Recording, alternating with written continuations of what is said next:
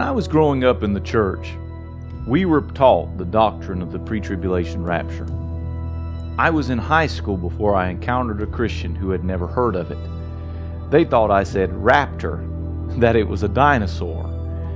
But the doctrine of the rapture is one of the most contentious matters of discussion in the church today. I quickly learned that there was a deluge of views and opinions on the matter. Although there are Christians who do not believe in the rapture, they are a very small minority. For most, the question is not if, but when and who. In this episode, we're going to attempt to answer those questions and even more when, how, who, where. We'll also try to correct many false assumptions and theories.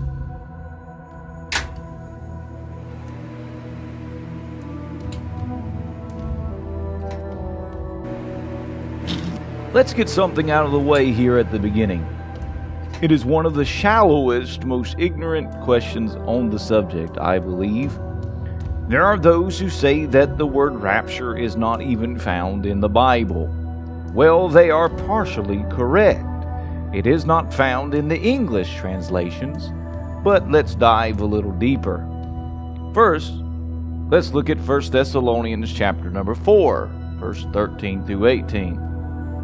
But we do not want you to be uninformed, brothers, about those who are asleep, that you may not grieve as others do who have no hope. For since we believe that Jesus died and rose again, even so, through Jesus, God will bring with him those who have fallen asleep.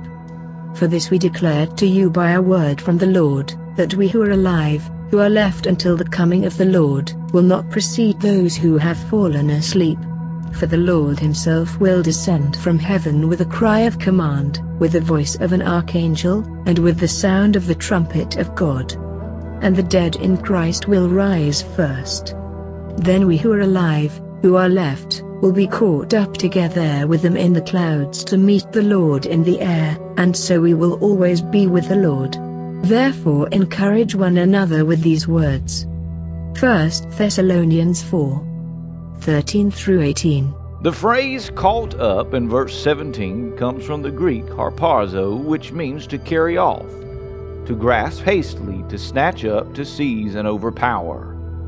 The Greek harpazo is translated as rapiemur in the Latin. And our English word rapture comes from a transliteration of the Latin, so technically the rapture is in the Bible. Taking some time to look at the different views concerning the rapture would be beneficial to our discussion. First, however, you need to know about the millennium. When we talk about the millennium, what we are talking about is the kingdom that Christ sets up in the earth. Then I saw an angel coming down from heaven, holding in his hand the key to the bottomless pit and a great chain. And he seized the dragon, that ancient serpent, who is the devil and Satan, and bound him for a thousand years, and threw him into the pit, and shut it and sealed it over him, so that he might not deceive the nations any longer, until the thousand years were ended. After that he must be released for a little while. Book of Revelation 20 1 through 3. There are three mainstream views on the subject. They are premillennialism, postmillennialism, and amillennialism. Preterism is also a view, but we will get into that later on. Although these three are the main views, there are also different varieties within them, and there is no way that we can cover it all, but here are some of the highlights. Premillennials fall into two different camps. Historical premillennials are those that believe that after the tribulation, Jesus will return and set up a literal kingdom on the earth for 1,000 years. In this case, the church is raptured after the tribulation, but before the beginning of the kingdom. Dispensational premillennials believe that before the seven year tribulation, or during the middle of it, Christ will rapture the church, snatching up the living as well as the righteous dead through the resurrection. Christ will then return again at the end of the tribulation to set up the literal 1,000 year kingdom, at the end of which Satan will be loosed for a season to tempt and try the nations once more, culminating in a final battle in which Satan and his army are defeated, after which God will resurrect the wicked dead, judge them at the white throne judgment, and cast them into the lake of fire. Satan and his demons, as well as all the wicked dead, as well as death and hell itself, are thrown into the lake of fire. Christ will then renovate the earth and heaven with fire, setting up his eternal kingdom once and for all, doing away with the curse and all the former things which came with it. Postmillennialism says that the thousand year reign is symbolic. Christ will not sit on a literal throne. Rather, there will be a gradual period of time during which the world will become more and more Christian. Christ will return when this process is completed. This is what drives the actions of groups like the NAR, the New Apostolic Reform Movement, and their dominion theology. Amillennialism is the pessimistic version of postmillennialism. It believes that the kingdom of God was inaugurated at Christ's resurrection, at which point he gained victory over both Satan and the curse. Satan is currently bound, and Christ is even now reigning at the right hand of the Father over his church.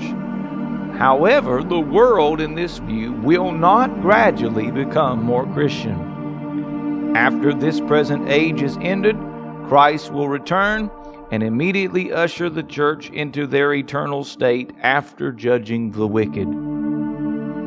The terms utilized in categorizing the views on the timing of the rapture use the seven year period of tribulation as their reference point. Pre trib means that the church, which is pure and ready, will be raptured before the Antichrist rises to power and Daniel's 70th week begins. Mid trib suggests that the church will have to go through half of the period of tribulation and then will be raptured. Those who hold to a post tribulation rapture believe the church will go through Daniel's 70th week and then meet the Lord in the air when he comes to fight the battle of Armageddon.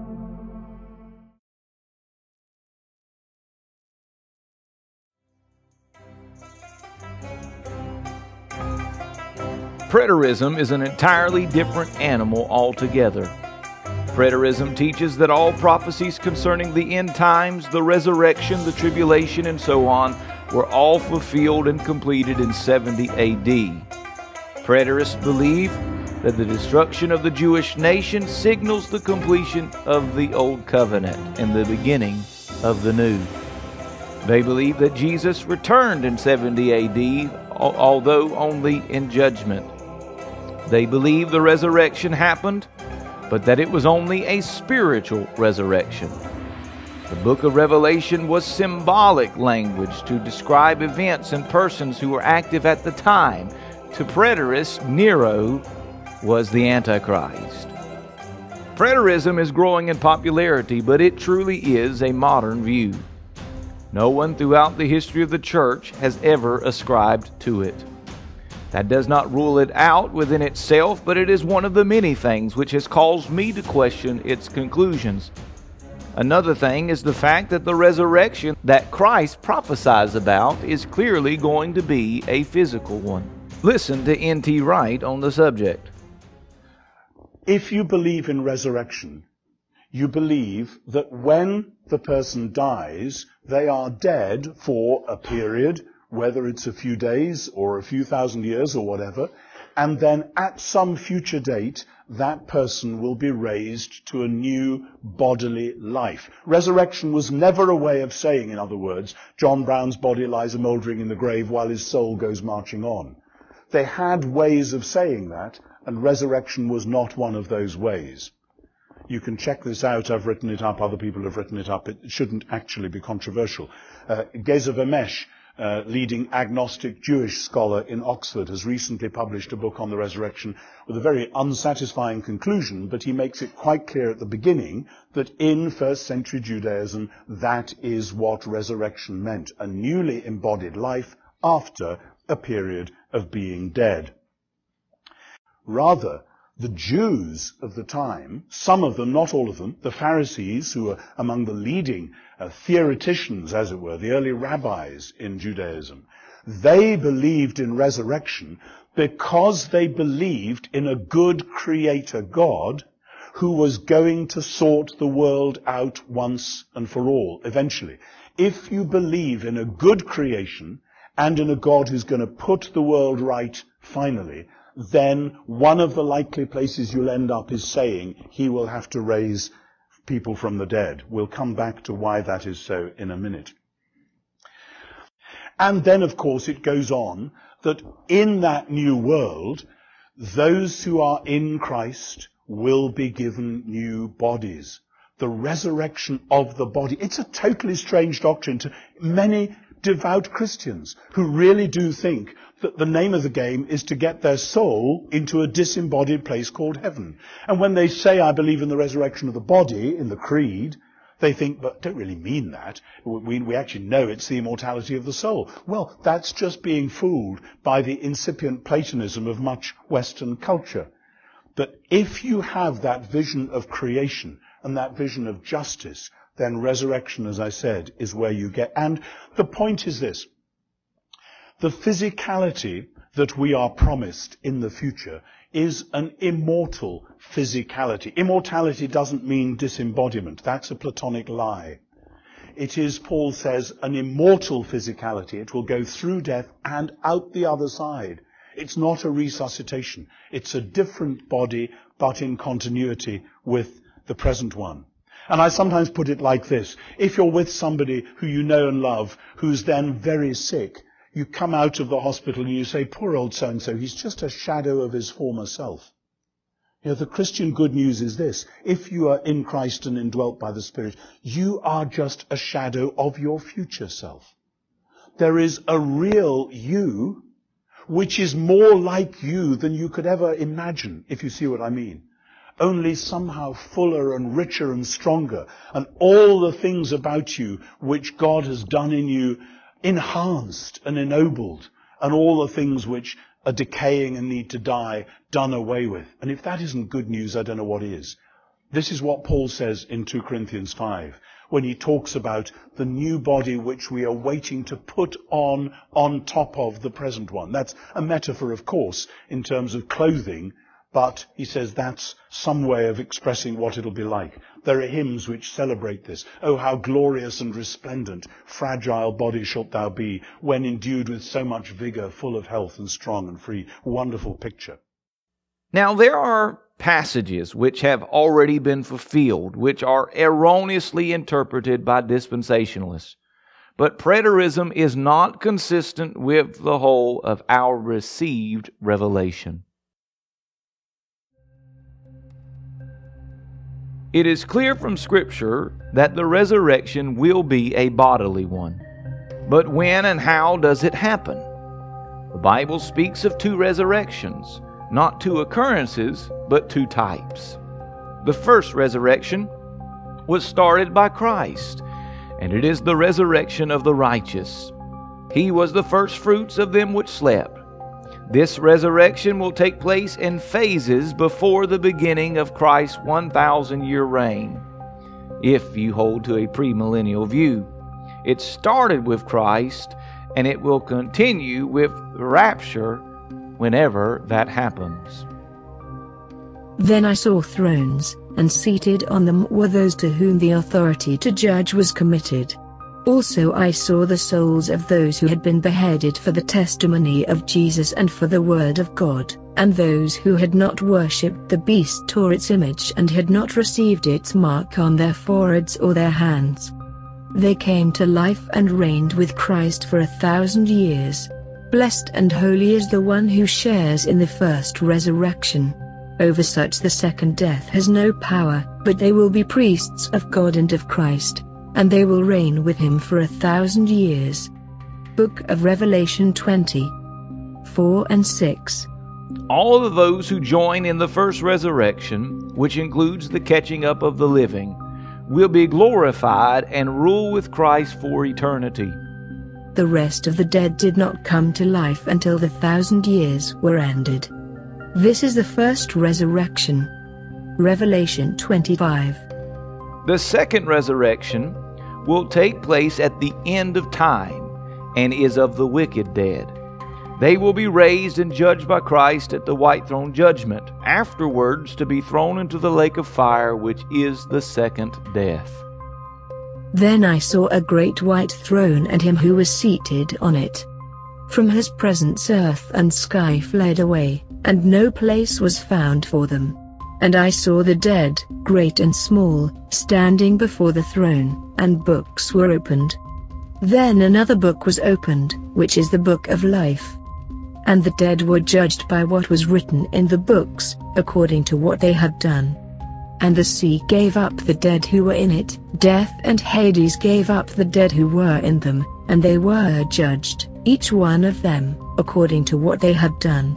Then death and Hades were thrown into the lake of fire. This is the second death, the lake of fire. And if anyone's name was not found written in the book of life, he was thrown into the lake of fire. Revelation 20 11 through 15.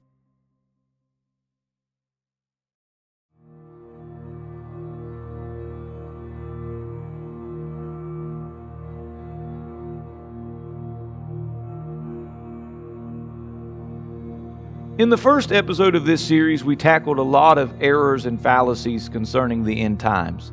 But let me give you a few about the rapture, regardless of when you think it will happen.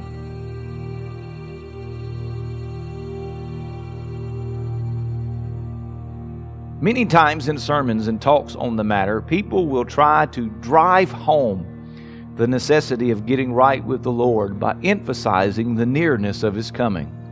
There is nothing wrong with this, and in fact, the imminency of Christ's return is a vital part of our teaching.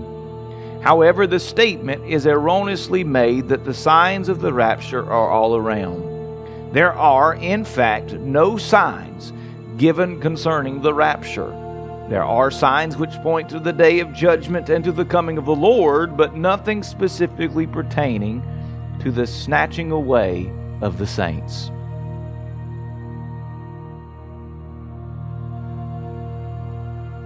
A staple for the evangelical world, especially dispensationalists, are movies like Thief in the Night, Left Behind, Apocalypse, Caught in the Eye of the Storm.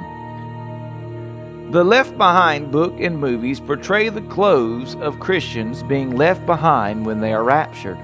But where does this come from? I know the premise is you cannot take anything with you, and so it will fall where you were. Some movies show even these clothes being neatly folded. The presence of empty outfits everywhere makes for an interesting camera shot, but is it biblical? The truth is, I can't say it won't happen, but there isn't any precedence in Scripture, even with the few who have already been raptured. Yes, there have already been some that have been snatched away. Elijah was caught up into heaven on a chariot of fire. He dropped his mantle to Elisha, but he didn't leave his clothes behind, folded or otherwise. When Enoch was snatched away, we have no record of his clothes being left behind. When Jesus was caught up into the clouds, he did not drop his robe. In Revelation 11, when the two witnesses are resurrected and raptured into heaven, there is no mention of them leaving their clothes behind. Opponents of a pre tribulation rapture, who are also anti Pentecostal, often try to attack the doctrine through ad hominem attacks against a woman by the name of Margaret MacDonald. MacDonald was an early Scottish evangelical during the 18th century. She was a part of the Irvingite movement, which was a Pentecostal movement at the time. Supposedly, MacDonald would go into trances, and it was in one of these trances where she would begin to reveal the doctrine of the pre tribulation rapture. The claim was made by a post tribulationist named Samuel Prideaux Tregelles. Tregelles hated John Nelson Darby and his teachings on the pre tribulation rapture. He really hated the Irvingite Pentecostal movement. So, in order to kill two birds with one stone, he claimed Darby got his teachings from this crazy woman in this crazy group.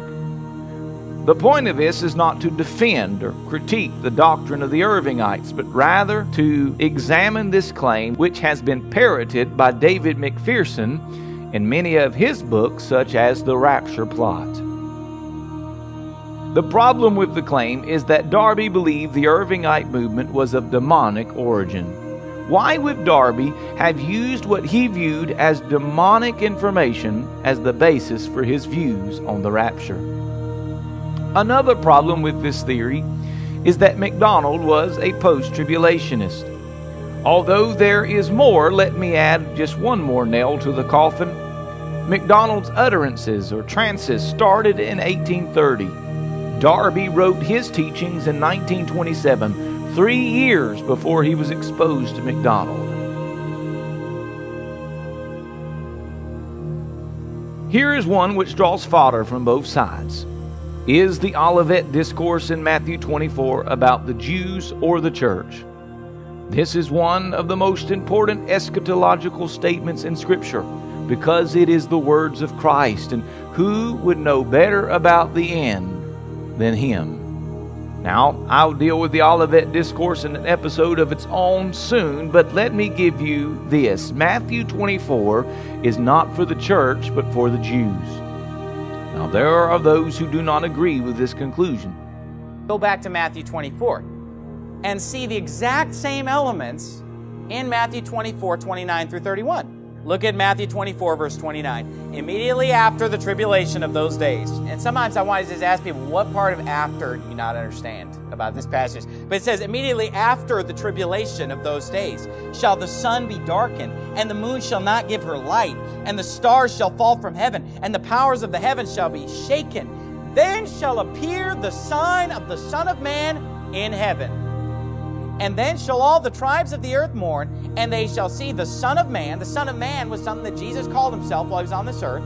He said, They shall see the Son of Man coming in the clouds of heaven with power and great glory, and he shall send his angels with a great sound of a trumpet, and they shall gather together his elect from the four winds, from one end of heaven to the other, all the same elements.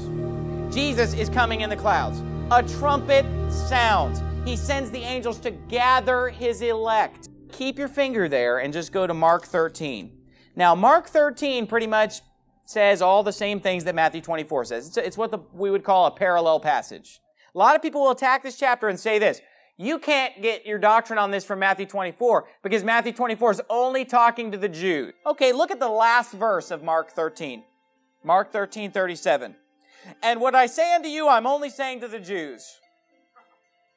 Don't let any preacher try to tell you this is for all believers, it's only for the Jews. Is that what it says in Mark 13 37? No, it says, And what I say unto you, I say unto all. Watch. It's almost like he knew that people would say that. What Steven Anderson fails to note or doesn't know is that the statement he uses in Mark is Christ simply harmonizing the version with the Matthew version. In Mark, unlike Matthew, only a few of the disciples come to Jesus.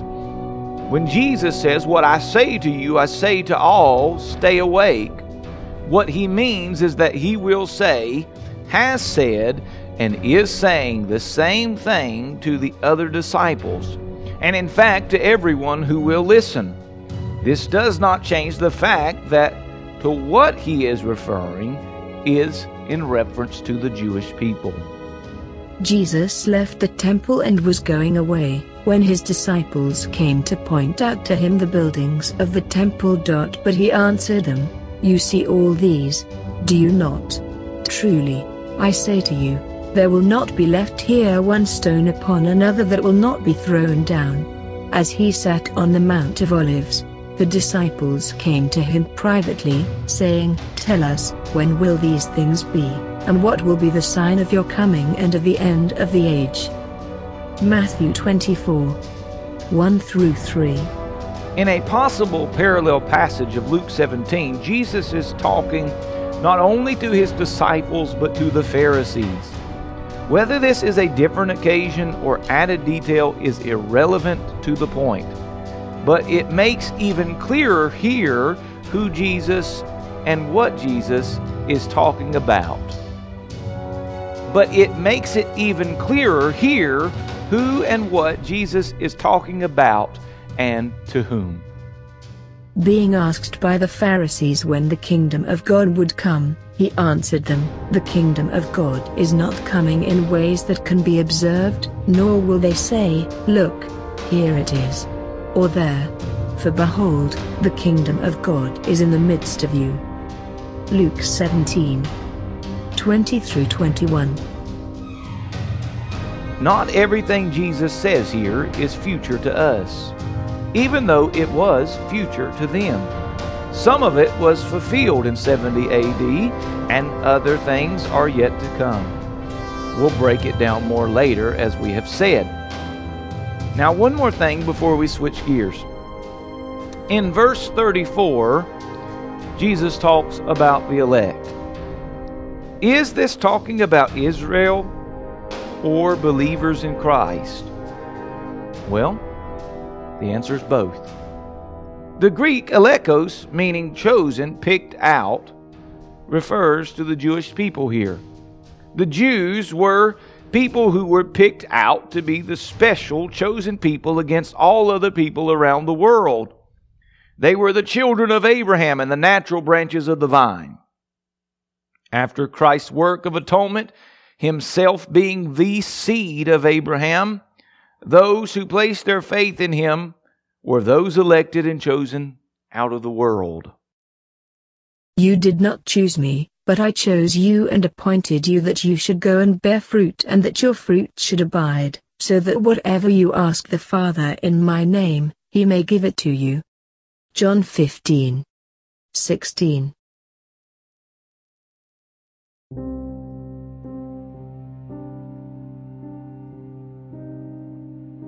The natural branches which did not bear the fruit were cut off and cast into the fire. And we were grafted in, reconciled to God through a spirit of adoption.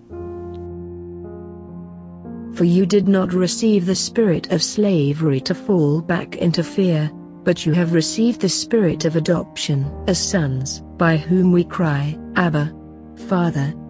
Romans 8:15 And we know that for those who love God all things work together for good, for those who are called according to his purpose. For those whom he foreknew he also predestined to be conformed to the image of his Son, in order that he might be the firstborn among many brothers. And those whom he predestined he also called, and those whom he called he also justified, and those whom he justified he also glorified. Romans 8 28 through 30. In Matthew 24, when Jesus is talking to the Jews about their destiny, he is using the term elect in reference to them. Still to this day, they have a place in God's plan because of the covenant he made with Abraham. Daniel's 70th week is mainly for that purpose. So remember, the full context is what determines accurate interpretation. But if some of the branches were broken off, and you, although a wild olive shoot, were grafted in among the others and now share in the nourishing root of the olive tree, do not be arrogant toward the branches. If you are, remember it is not you who support the root, but the root that supports you. Then you will say, Branches were broken off so that I might be grafted in. That is true. They were broken off because of their unbelief, but you stand fast through faith. So do not become proud, but fear. For if God did not spare the natural branches, neither will he spare you. Note then the kindness and the severity of God, severity toward those who have fallen, but God's kindness to you, provided you continue in his kindness. otherwise you too will be cut off. And even they, if they do not continue in their unbelief, will be grafted in, for God has the power to graft them in again. For if you were cut from what is by nature a wild olive tree, and grafted, contrary to nature, into a cultivated olive tree, how much more will these, the natural branches, be grafted back into their own olive tree? Romans 11 17 through 24.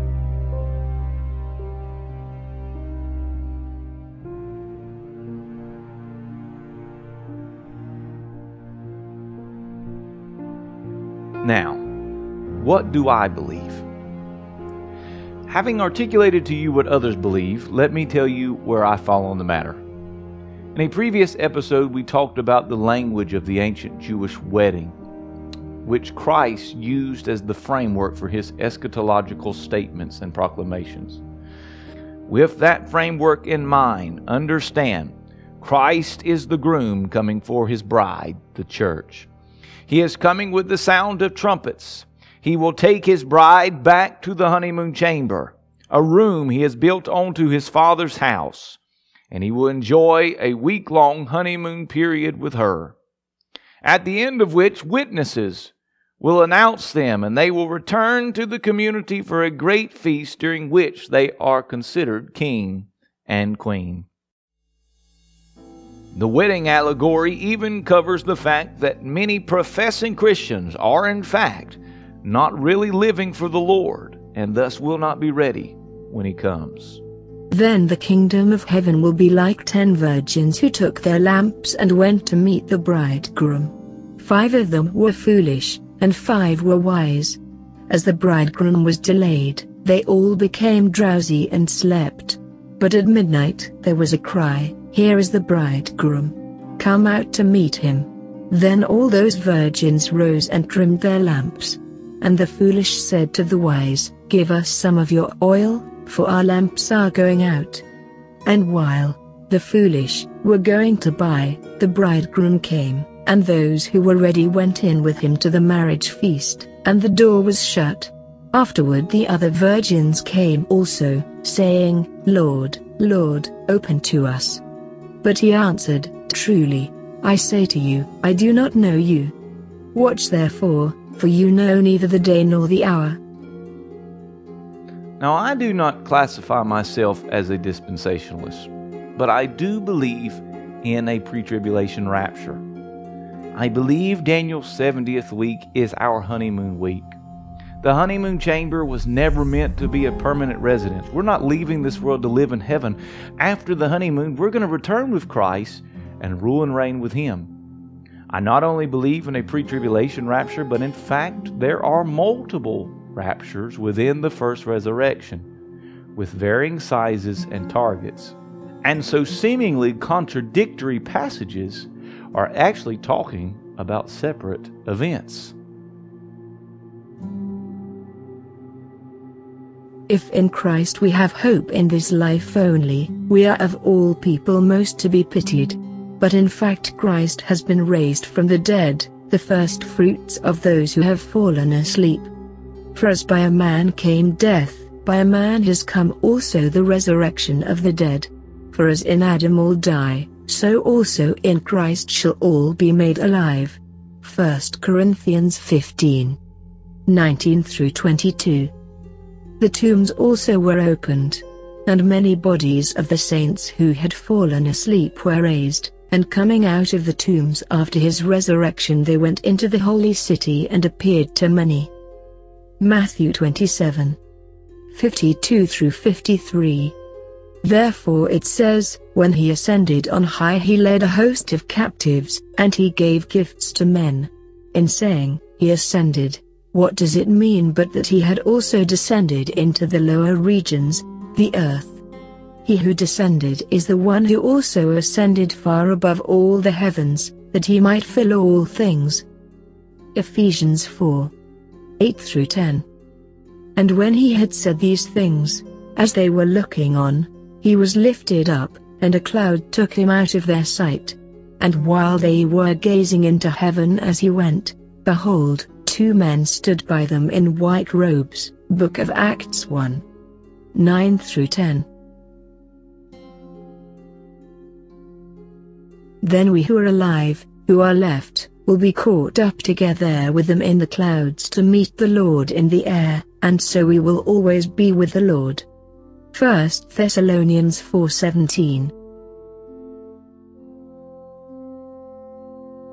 After this I saw four angels standing at the four corners of the earth, holding back the four winds of the earth, that no wind might blow on earth or sea or against any tree. Then I saw another angel ascending from the rising of the sun, with the seal of the living God, and he called with a loud voice to the four angels who had been given power to harm earth and sea, saying, Do not harm the earth or the sea or the trees, until we have sealed the servants of our God on their foreheads. And I heard the number of the sealed, 144,000, sealed from every tribe of the sons of Israel. Book of Revelation 7 1 through 4. And a great sign appeared in heaven, a woman clothed with the sun, with the moon under her feet, and on her head a crown of twelve stars. She was pregnant and was crying out in birth pains and the agony of giving birth. And another sign appeared in heaven, behold, a great red dragon, with seven heads and ten horns, and on his head seven diadems. His tail swept down a third of the stars of heaven and cast them to the earth. And the dragon stood before the woman who was about to give birth, so that when she bore her child he might devour it. She gave birth to a male child, one who is to rule all the nations with a rod of iron, but her child was caught up to God and to his throne. Book of Revelation 12 1 through 5 But after the three and a half days a breath of life from God entered them, and they stood up on their feet, and great fear fell on those who saw them. Then they heard a loud voice from heaven saying to them, Come up here. And they went up to heaven in a cloud, and their enemies watched them. Book of Revelation 11 11 through 12. After this I looked, and behold, a great multitude that no one could number, from every nation, from all tribes and peoples and languages, standing before the throne and before the Lamb, clothed in white robes, with palm branches in their hands, and crying out with a loud voice, Salvation belongs to our God who sits on the throne, and to the Lamb. And all the angels were standing around the throne and around the elders and the four living creatures, and they fell on their faces before the throne and worshipped God, saying, Amen. Blessing and glory and wisdom and thanksgiving and honor and power and might be to our God forever and ever. Amen. Then one of the elders addressed me, saying, Who are these, clothed in white robes, and from where have they come? I said to him, Sir, you know. And he said to me, These are the ones coming out of the great tribulation. They have washed their robes and made them white in the blood of the Lamb. Book of Revelation 7 9 through 14. Now, I want to leave room for the fact that I may be wrong. I don't believe I am, but it is possible. But this view is the one which answers all the questions fully, while other theories and views are lacking. But as you will find throughout this series, there is so much error in traditional dispensationalism and in all its variants that eschatology has been made into a joke in many instances. Sometimes the simplest, most plain explanation paints the clearest and deepest picture. There's so much more that we could get into, but we've come to the end of our time today. This has been a Crosslife Church production, and I've been your host, Pastor Daniel Gamble. And I look forward to seeing you next time. Until then, God bless.